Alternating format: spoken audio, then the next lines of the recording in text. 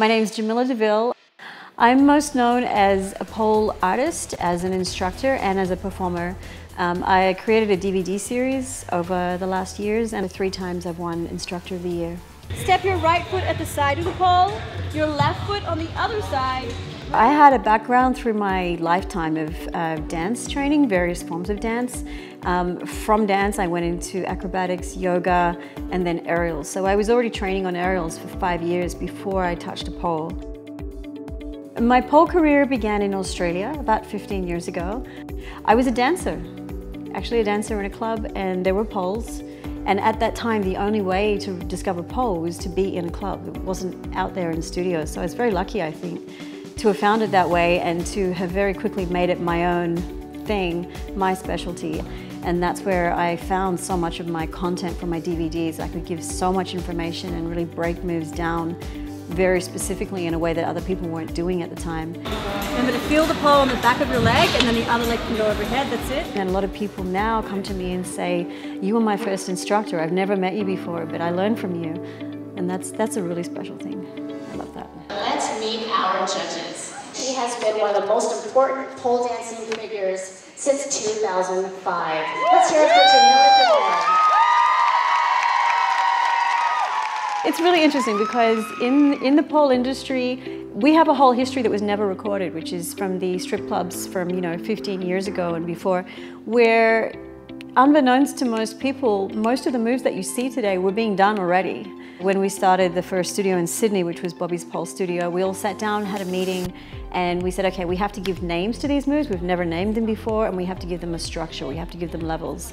And so we all sat down and we ended up um, kind of as a, a, half a joke, picking out a move that each of us had brought to the table and naming it after ourselves, not realizing that, you know, 15 years later, there would be this incredible worldwide phenomenon of pole dancing with moves that were um, named after us. And then tip myself over into the pole. So that's a basic Jamilla. There are definitely moves named after me. There is a, actually a bunch of moves called the Jamilla.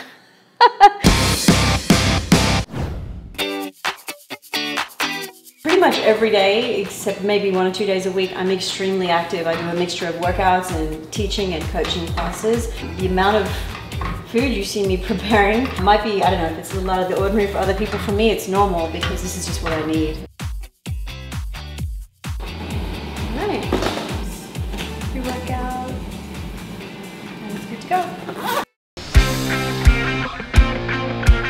It's difficult to describe a typical day for me because every day of the week is different. Today, I'm to start with CrossFit. We're to be working out and then assistant coaching. Here we go at three, two, one. Everyone's upside down.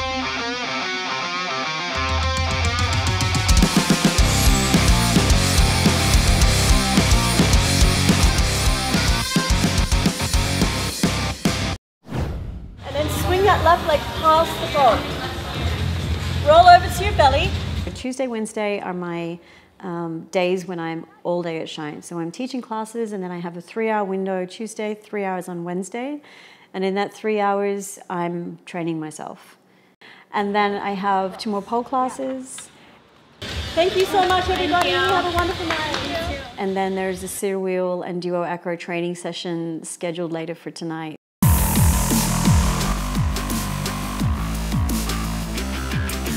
Tonight we're here at a park in Las Vegas. It's about 10.30 at night. I'm taking my second lesson ever on cyr wheel. Um, so I've taken a big step out of my comfort zone from the Pole Studio where I control everything uh, to this apparatus where I feel like I know nothing. My coach is Daniel. He's uh, spinning around right now behind me.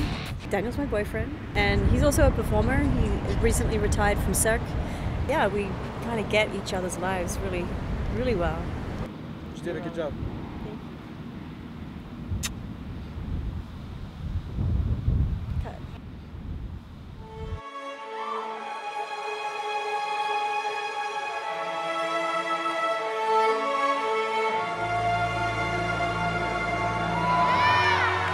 Oh my goodness. If I'd ever known when I was a child or growing up or whatever that this is this would be my career. Um, completely changed my life.